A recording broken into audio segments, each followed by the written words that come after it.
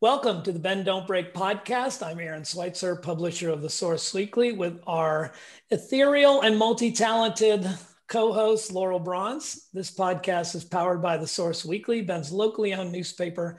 Listeners tune in to find out how to deal with our new normal.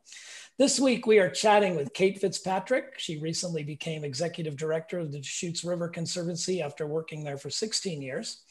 The DRC works to restore stream flows in the Deschutes Basin through a unique collaborative model between various interest groups such as farmers, environmentalists, and irrigation districts.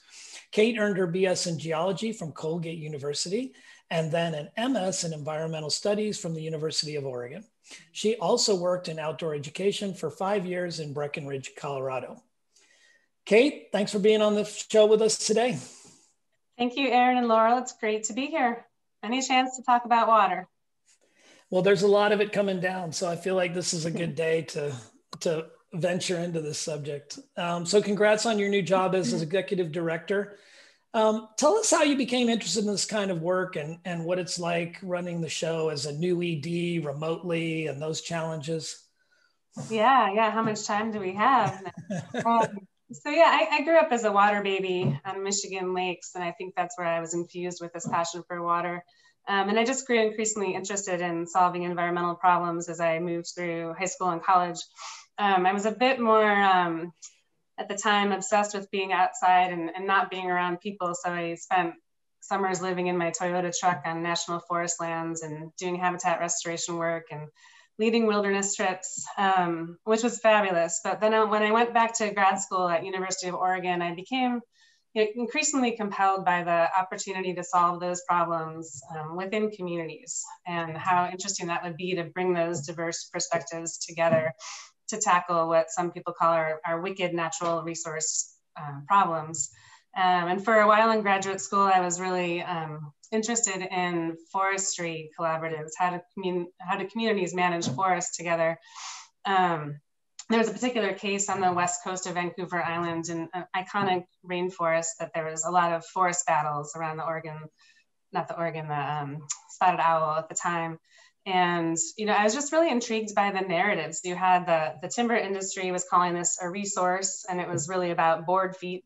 And the environmentalists were actually chaining themselves to trees at that time, and um, they were trying to preserve the untouchable um, and, and keep it untouched and then you had the indigenous people that had a different narrative of home, and they'd been there for thousands of years. And they were, um, you know, it wasn't that it's untouchable and it wasn't that it's just a resource, but they had always survived culturally and economically um, and spiritually off this forest. And so that really struck me of how can we shift the narratives from sort of untouched um, and uh, on one hand and extractive on the other hand, and really, you know, become stewards of our landscape. So um, that really drew me to this job in Bend around water. I knew, um, had a passion for water, but knew nothing about water rights. But I see this as a community where you're really changing from, you know, an extractive history based on diverting and using water um, towards a recreational community. Like let's let's play in our woods and along our rivers. But but I'm really interested in how can we um,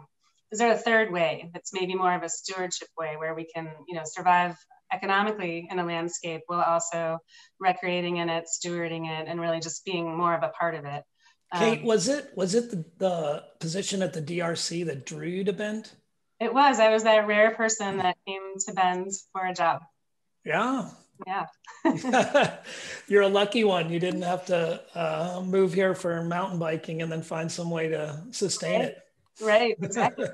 yeah. So that's how I ended up here. That was about 16 years ago, and um, kind of been through all different positions at the DRC, so I've learned a lot of a lot of different aspects about water rights, water management, collaboration. So, in your new position, how um, how are you communicating with your crew? How I mean, this is it's hard to do a podcast, let alone collaborate on water issues in this fashion. Yeah. It's amazing how busy you can be and never, you know, never getting out of your sweatpants and leaving your kitchen. I mean, um, I almost forget about it because we've just had to adapt, right? And, and our work, especially as yours is, it's so meeting based, relationship based, collaborative. Um, and we're just, we're still doing it. We're just doing it off of Zoom and it's almost become the new normal. But I'm certain something's lost in there. So I'm very, um, very anxious to get back to the people meetings. We've had, you know, we'll take our little chairs to Drake Park with our blankets, and every once in a while we'll do that, or we'll huddle back at the Kinnaman's fires. But by and large, um, you know, and also we're trying to run a, a, water collaborative that has 40 or 50 people in it that we launched uh, this year during COVID. So um, we've been doing it, but I, I only expect that we'll be able to do it better when we get through this. It feels a little bit like the collaborative model is kind of, a, um, I mean, it's certainly it's time because with the pressures that are being put on, it's not so much people like, I think when you say collaborative, a lot of times people think, oh, that's a nifty thing I'd like to join and sign up for. When really the way the pressures are on resources and uses and the, the groups that you named, they kind of have to come to, they have to start like in it's like meet early mediation like you know we don't want to end up in court mm-hmm. yeah there's all different reasons why people collaborate right but that's the yeah. main one is can we avoid conflict um, right and that tension between the time and patience it does take um, as well as really needing to make progress on the decisions. Yeah. So one of the things that i um, i mean it's like i was thinking about it when we were having you on. It was it's kind of like the moonshot of uh, conservation here, that photo that came up of Wickiup Reservoir that where it ran dry this summer. And, mm-hmm. um, you know, everybody knows the name Wickiup Reservoir. People may be able to point to it on a sign, but nobody really understands its importance. And no one had seen it in that fashion. It's like a picture's worth a thousand words. And I'm wondering if that has, um, how, how that's energized or invigorated your organization and what that means for um, future of irrigation or rivers? Yeah. So if, if it's okay, I think I'm going to have to step back in time a little bit to tell the sure. story of how we ended up at that moonshot and, and Wickiup Reservoir. Um, the long story short, we've been working on these issues for a long time and, and they're nothing new. What you saw in Wickiup, um, you know, really was heightened by several years of extreme drought and some changes in management of the river. But this is a problem and a legacy problem we've lived with for a long time. So if you step back to really the late 1800s, um, you know, the federal government was in an era of paying people, you know, giving them land, come west, make the desert bloom. It was this very settler draw. Um, and at the same time, the state was giving out uh, the rights to use water for what they were calling beneficial use. In our basin, that was mostly agriculture um, just to stop and pause that the public owns the water, but they issue water rights to use the water. Sure. That's an important distinction. Uh, and then the federal government um, poured money into building, you know, huge irrigation districts to convey this water 70, 100 miles through the desert. Um, and so that's that really was one of the reasons we have Central Oregon communities today was based on that settlement. Um, and at the time, if you got here in 1897 and you got a water right then, then that's an old water right, and then it goes down the line from there. Um, so what the state inadvertently did was they gave away more rights to use the water in the river than exists in the river in some summer months. And that's called over allocation. So, you know, just to bring it home, like if you have a priority date on your water right of 1900, you're pretty good. You're probably going to get your water most years um, 1913, which seems like a long time ago, you're kind of out of luck. You're always facing scarcity issues. And that's, um, so that's why, you know, there wasn't enough natural flow in the river. So then a series of dams were built again with federal funding and support. So that built um, Crane Prairie Reservoir, but we're really going to focus on Wickiup Reservoir today. Um, and I think 1958 it was finished and that uh, holds back an extra 200,000 acre feet. So a lot of water um, to support the, the irrigation district with the, the worst water right, the 1913 water right, since they aren't met by the river on a regular basis. Um, so that changed management of the river even more, right? So now you've got, um, in the wintertime, you're, you know, historically shutting down that river with just a trickle so that you can store that water for agriculture. And then in the summer, he release all that water, but then most of it was diverted just downstream of Bend. And so then you've got dry, almost dry streams downstream of Bend. So you've created a, a situation that has drastically altered flows in the river um, because in 1900, even in 1950s, not a lot of people were thinking about the health of the river. Um, so we have a very rigid water law and policy system, and we have changing values.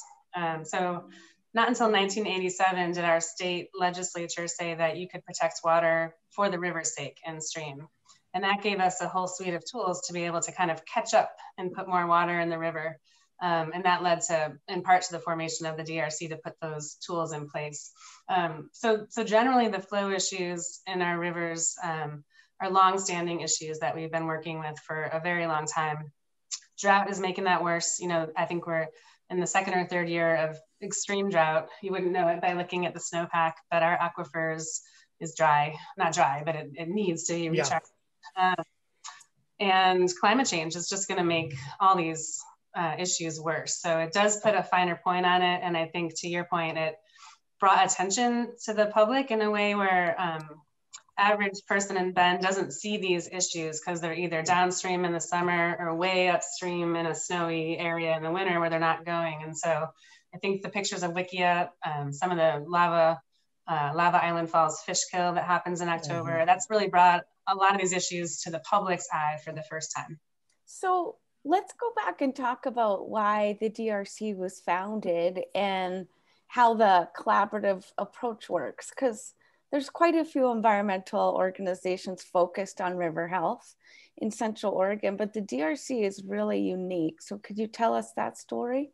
Yeah, I would love to, Laurel. And it's one of the things that really keeps me drawn to the DRC. Um, it was really a unique um, set of individuals back in the 90s, early 90s, that had this foresight to come together and think about this stuff. So it was really driven by the Confederated Tribes of the Warm Springs Reservation. Um, so the reservation, as most of you know, is downstream of us, but the tribes also have rights to ceded lands that cover most of the Deschutes Basin um, and rights to fishing and hunting and gathering and the right to clean water, really. So um, they worked with Environmental Defense Fund to assess what are the biggest natural resource issues we should be worried about down the road. And uh, water quality and water quantity became those two top things for the tribes. And so they worked with irrigation district leaders and the environmental community um, to say, hey, what if we formed a group where we could actually do work together? Um, I think they were probably looking south to the Klamath water crisis and saying, let's not do that. Let's not repeat the Oregon, the Oregon, the spotted owl wars. Um, let's learn from this and stay ahead of conflict and work together. So that vision led to the DRC. Um, at the time, we were authorized by Congress uh, with the help of Senator Mark Hatfield and we had designated multi-diverse um, stakeholders on our board and we had to operate by consensus. So to get anything done everybody had to agree which as you can imagine with water rights is not the easiest right. or expedient process. But you know there was some some low-hanging fruit and i mentioned we had some new tools that the state gave us to protect water and stream. Um, and we started to work with irrigation districts and others on putting projects in place. Um, and all these projects restored flows, but they also supported irrigation district operations. Um, and they also, you know, created benefits in many ways. And so it, it became a model that actually showed that it could work. Um, Kate, so what are what are some of the challenges of the collaborative model? I mean, it, you also take some criticism for the fact that on serious issues you can get caught as a collaboration breaks down in a in a tug of war between parties and usually you guys are mm-hmm. kind of looked to to moderate that kind of thing which can be uncomfortable. Um, what uh can you speak to that? I mean as people look for you know why you might have these challenges with that model as well.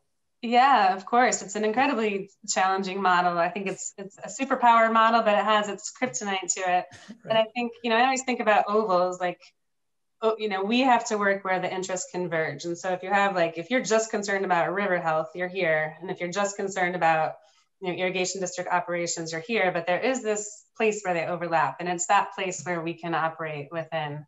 Um, so when you're not meeting, you know, some of the other river needs, or you're not fully meeting irrigation interest needs, you get hammered from all sides. But um, in our basin, I believe we're lucky enough to have enough opportunity and enough water and enough history that there is a significant amount that we can do together.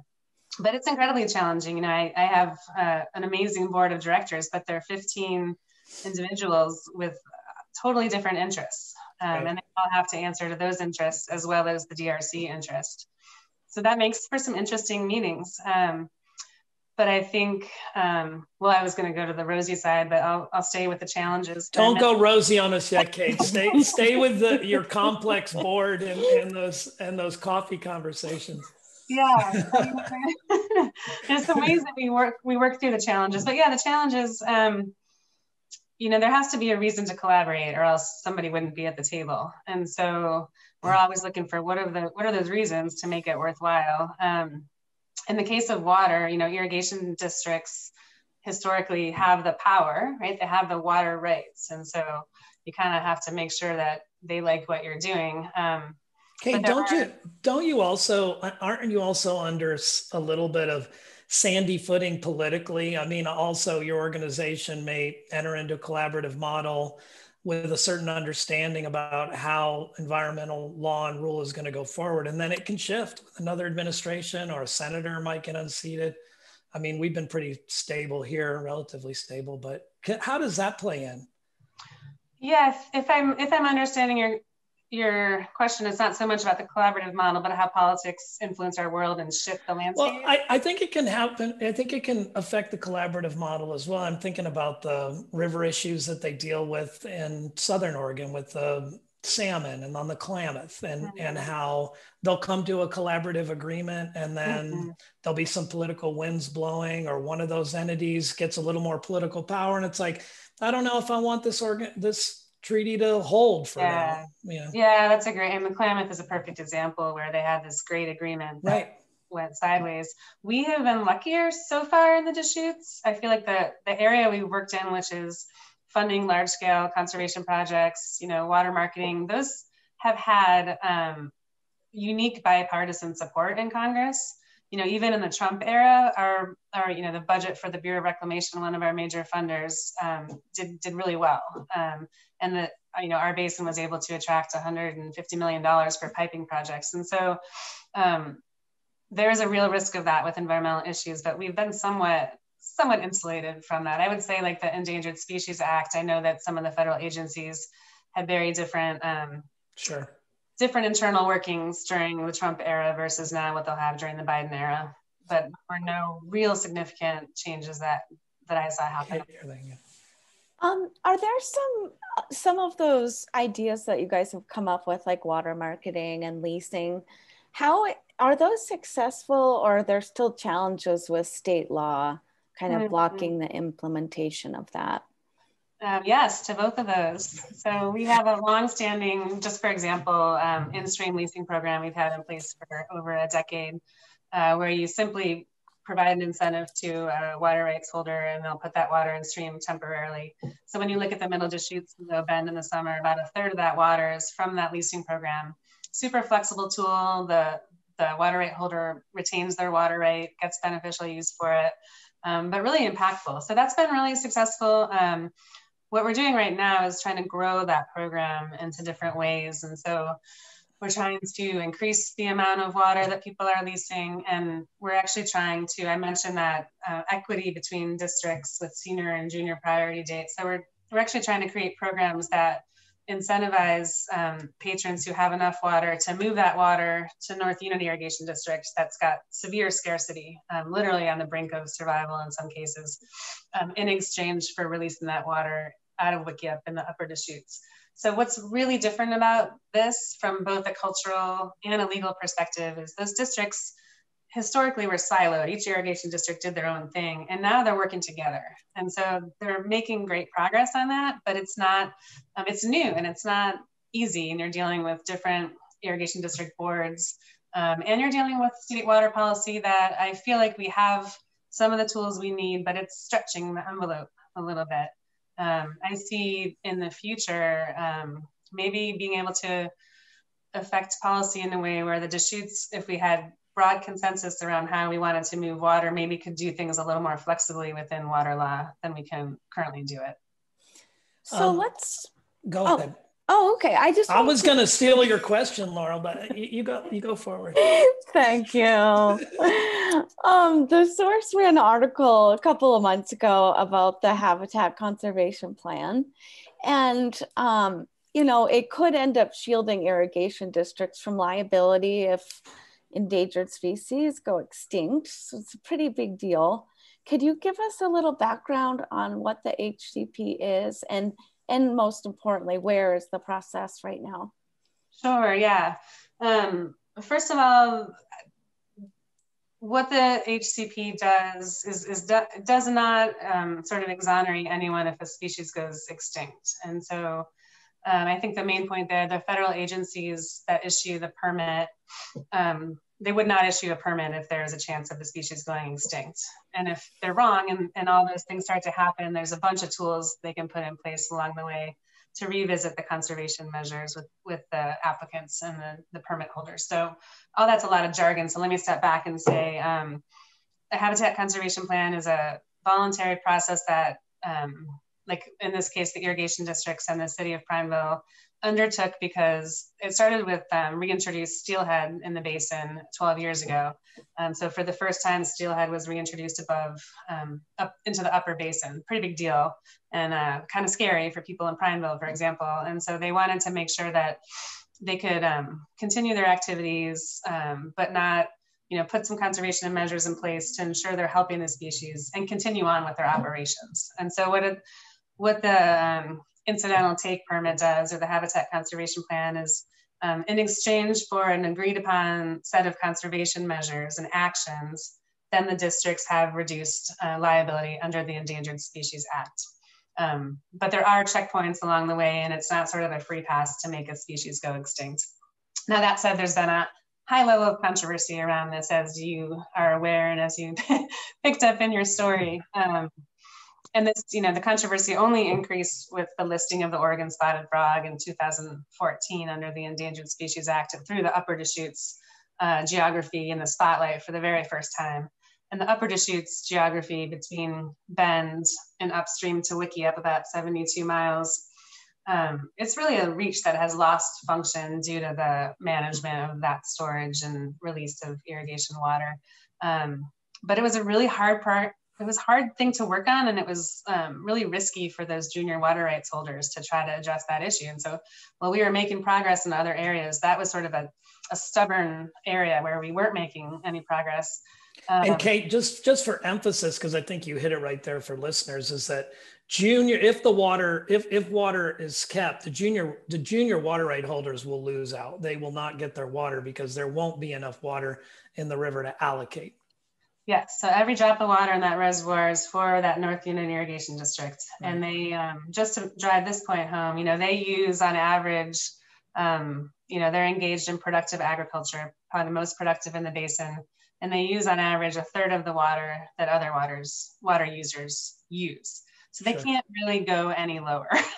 um, and so the big play is to share water from the, the more senior districts to them from the river, and then they won't need that stored water and they can release it. So it's a little complex, but it's basically like just balancing out the water availability for the districts so that um, the upper Deschutes River can be restored. Right, but and but to understand the stresses behind it with the HCP, had you know how that whatever gets determined for in stream flows means they might have to do less they might get less water. And especially if we see like you were saying benchmarks are going along and oh it looks like the the frog ain't making it mm-hmm. then they'll be asked to put more water in the back in the river. Is that correct um, possibly, yeah. Um, and again, I, mean, I don't want to just stick on all the dark things that could happen no, around this. I think what is unique about this is that the I mentioned that the irrigation districts used to be like silos, and now they're coordinating. Um, so the whole HCP plan is based on um, the senior irrigation districts, you know, sharing. I say sharing, but there's probably you know incentives involved that water with North Unit so that they're not going to bear the whole burden themselves. And so that's a pretty, it's a pretty interesting situation because these districts, um, the senior districts really, you know, it's not their reservoir that's driving those changes, but yet they're sort of at the table helping figure this out um, sure. because they can, they have the opportunity to do that. And so it is kind of a, um, you know, we all get grumpy about slow progress, but it's a pretty innovative model of solving water in a complex fashion. Um, and then to your point, so what does that habitat conservation plan actually do in the upper Deschutes and where is it and what does that mean for our work? Um, it was just signed by the U.S. Fish and Wildlife Service in December 31st, like at midnight or something. Um, and then there's there's a companion piece with the um, NOAA National Marine Fisheries Service related to steelhead, and they haven't signed their piece yet. They're just a couple months behind, but the frog piece is in place. Um, and it does lay out targets, um, flow targets over time that the irrigation districts have to meet. And so this is, um, you know, there is debate over are they high enough targets and are they fast enough? Um, this is the very first time we've had committed flow targets in the upper Deschutes River. And so just for perspective, I know cubic feet per second doesn't mean a whole lot, but just look at the numbers here. Like since 1958, there was a minimum of 20 cubic feet per second. Um, historically, it would have been like six to 800. Um, as of 2014, we've had 100, and within seven years, we'll have triple that. We'll have 300. So that's a significant um, foundation to build on that we're just excited to kind of get working with our partners to help them meet those goals and help do that. Um, Kate, think- do you do you sometimes feel like um, I mean, I know it's somewhat of a modern ethos that everybody kind of wants things really fast. You know, like mm-hmm. we expect change. You know, if we if we get upset about something, we want to protest it. We want you know there to be some action based on that. And mm-hmm. i mean could there i mean i don't want to overstate this but there, could there be anything that moves more slowly than water regulation?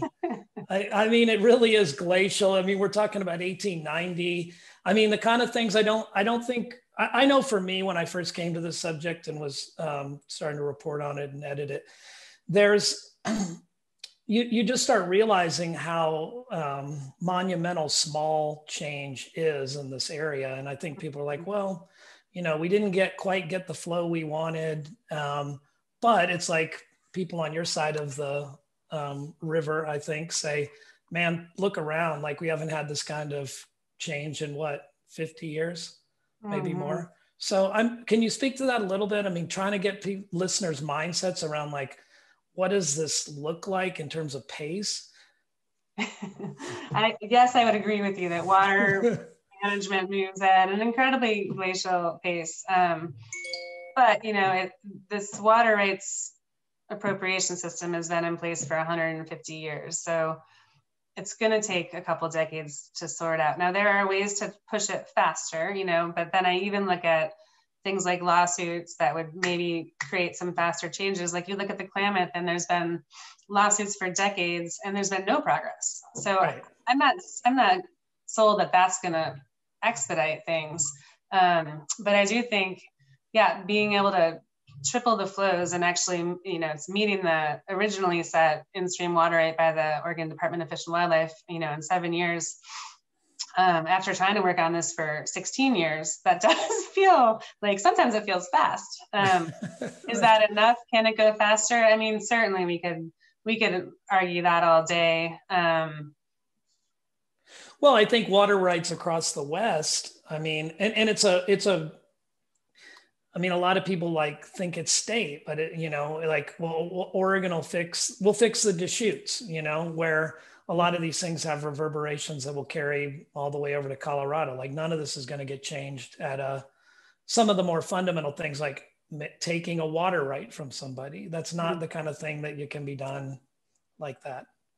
No, I do think that we're going to be entering a new era where you're going to start to see more systematic shifts. I think. I think that the current structure of water law and policy is completely ill-equipped to handle what's coming down the pipe as far as climate change, population growth, changing values. It's just not going to be adequate. Um, so what does that mean? I mean, I think it's an exciting time for sort of basin-wide water management. If you can take that time, the hard time of getting agreement in one basin on how to do something, you could maybe set an example of like, here's how you do it. And it's probably not going to work for the Umatilla or the Colorado, but maybe there's some lessons on um, how that collaboration can create basin-specific plans that could work.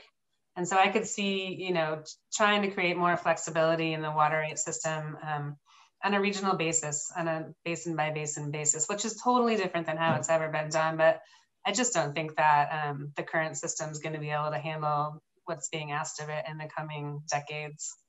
Well, I think people demand a faster timeline now, whether they get it or not. There's an expectation there's going to be more movement. Um, mm-hmm. We're running out of time, but I wanted to just touch base on piping. And I know we could have done this whole podcast on piping, but um, one of the you know the fact that uh, citizens are ponying up more dollars there's really a lot of taxpayer dollars now and i feel like people are asking questions about piping for the first time. I mean we live in an area that's completely cut up with uh, canals and irrigation districts have coverage over most of the area. But for the person who's moving to bend and maybe they're going to fred meyer and they drive over the canal and they think well that's a, what's that empty rocky you know river right there? Um, do you feel that there's a little more, I don't know, awareness of the importance that that canals play in our region and what piping means for people? And is that a good conservation area? I know I'm not giving you, I'm going giving you a lot with only a couple minutes left. um, gosh, where to start? So uh, as far as a conservation measure, yeah, we have um, a, like a absolutely porous basalt geology here. So when you put water down a canal, you lose up to 50% of it. It goes to groundwater, but you don't see it in that river until you get to Lake Billy Chinook. So you've um, you've taken twice as much out of the river as you need to get to the farm. So as a conservation measure, yes, piping makes all the sense in the world. If you're living in a, you know, canals in your backyard and you like the water feature, yeah, I understand why that's a bummer. Um, I think it's, it's about education and learning about the trade-offs of, you know, if you have a canal in your backyard and some duck habitat, what have you lost as far as fish habitat in the river? Um, it's a very expensive solution. It's always been a part of our portfolio of projects, but we've always tried to integrate large piping with other projects, water marketing, sure. on-farm efficiencies. So that's what, you know, that's what we're really driving for is to create the programs where you can take, you know, those huge slugs of water that get saved and put in stream from piping, and then you can optimize with lower cost projects and voluntary incentive-based programs to capture even more water to solve problems. Um, so I don't know if that answers your your question in a nutshell. But. No, yeah, and and I'm just curious. I know there's been um, there's been a lot of discussion about con- piping versus conservation. You know, like the monies that we're putting out to pipe the canals. Is it is it achieving for the dollar the same conservation that we could see for less grand, bring out the bobcat type of yeah. projects? Yeah, you know, yes and no. I think um, it's a it's an easy fix for the districts, even though it's not easy. They put so much energy into these sure. projects, but it's easy because they own the canal and they have sort of decision making authority. Um, for example, COID is going to be piping a $30 million project. In two years, we'll have 30 CFS more in the upper Deschutes. That's a huge result. Um, it's also a huge price tag. So what we really are working on with the districts is is all of those things. And so if you can have a piped, fully pressurized system that makes it to the on farm, and you can convert from flood to sprinkler for lower cost, and then you can, um, you know, leasing water is really cost effective. That will allow us to lease more water because it's a pipe system that's easier to control. All those things work together. Um, so what we're really hoping for is to complement the large pipe with you know all those other programs that you're thinking of that can sure. save water and i think there's an ethic that needs to there needs to be more education and change around um, around water conservation and that you have a, a, responsibility as a water rights user to steward that water and to use it as efficiently as possible. And if we can help bring grant dollars to help you do that we're absolutely willing to do that. But I think that's why, you know, one of the reasons I appreciate being on here today is, is the public really needs to understand what's going on, what the problems are, what the solutions are, because it's complicated, right? But the more the public understands, you know, public opinion, it does matter. And it is one of those things that can help accelerate this work. Well, I have been encouraged by the fact that now that there is these $30 million, $24 million, I think, I, I can't remember what the other budget was for the piping and TID, but um, it does raise visibility, of course, because people are going to ask, like, is that a good use of my my funds? And mm-hmm. Kate, I really appreciate you coming on the um, podcast today and explaining this. I, I think I can uh, say this for Laurel and all other journalists covering water issues and getting into CFS and government regulation. It makes everybody's head swim, and uh, it is so complex. And and uh, appreciate the work you're doing in this area. Thank you. I hope I didn't gloss over anybody's eyes, but um, always happy to talk about water. And for people who want to learn more, just get in touch with us. We would love to love to talk more. So thanks for covering this. Great. Thank thanks you for, so much, Kate. Thanks for being here, Kate.